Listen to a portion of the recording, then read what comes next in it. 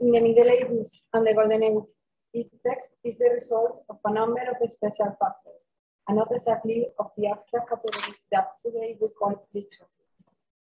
Thus, in order to understand the textual code, it is necessary to know that within political and social relations exist certain values that shape the identity and culture of those groups. This way, so as to show, impose, and keep certain ideological and social ideas for a specific recipient group, a text corpus is developed. This corpus tries to re represent the particular mindset of the society itself. In this broad and diverse text corpus, we are going to focus on hagiographic text.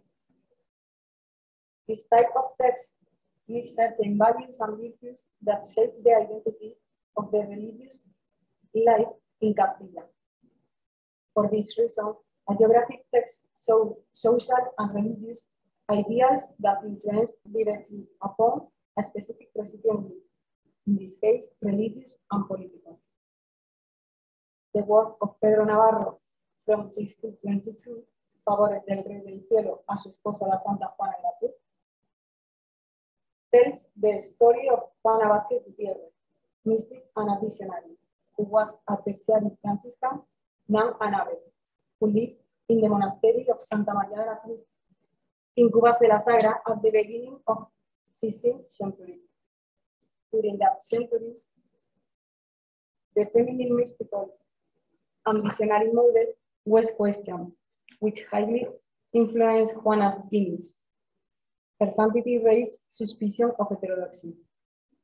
Navarro's biography justifies and explains those episodes of the nun's life which may be catalogued as untrustworthy. The goal of the author is to gather Juana's virtues, an exhibition of sanctity in order to maintain the social religious ideal the society had developed about the, nun.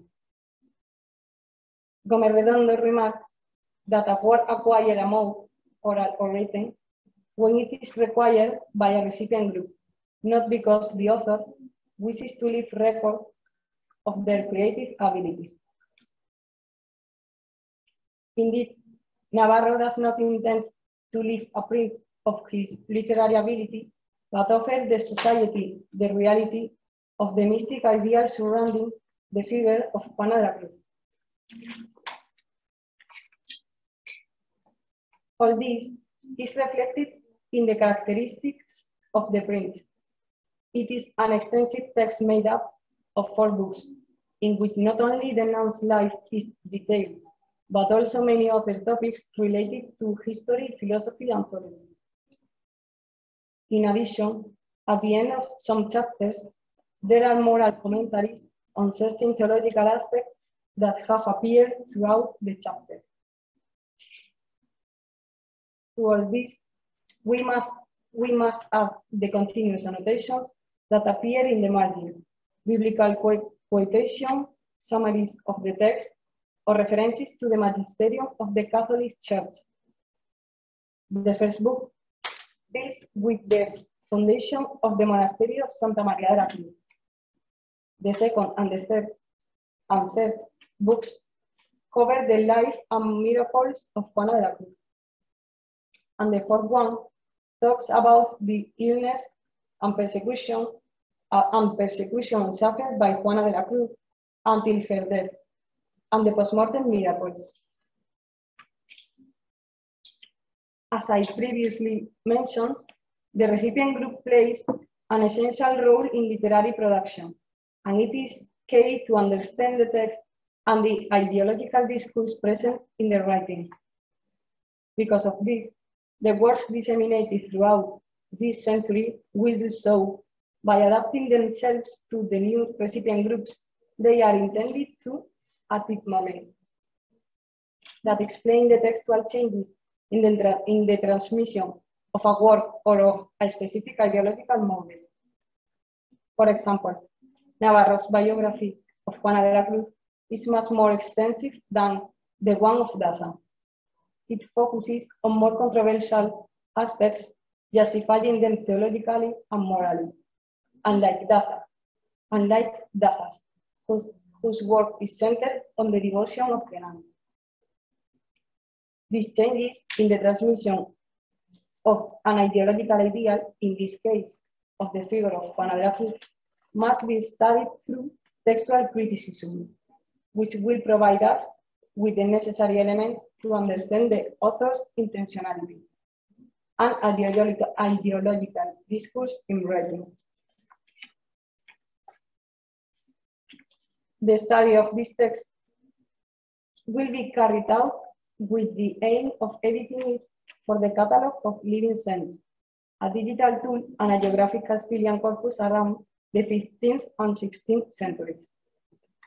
For the elaboration of the critical edition, other tools and materials will also be necessary, such as, such as editing criteria that respect the peculiarities of the printed transmission of this type of works.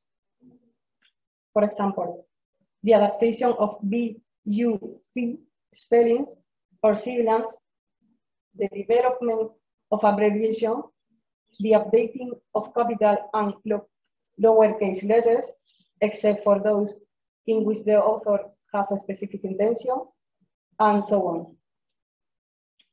All these tools make the text accessible, but we must not forget that the edition must be as faithful as possible to the original text. In, conclu in conclusion, we can affirm that it is important to take into account the characteristics of the text in order to deduce the recipient group and the intentionality and, ideo and ideo ideological discourse of the author. This way, we are also able to make a critical and digital edition, respecting the text and, and its transmission. transmission. This also enables the accessibility of this type of works, since the main purpose of critical edition is to bring this text closer to a modern reader. On the other hand, it also facilitates the extension of knowledge in any social context, as in general, everyone has access to a digital catalog. Thank you.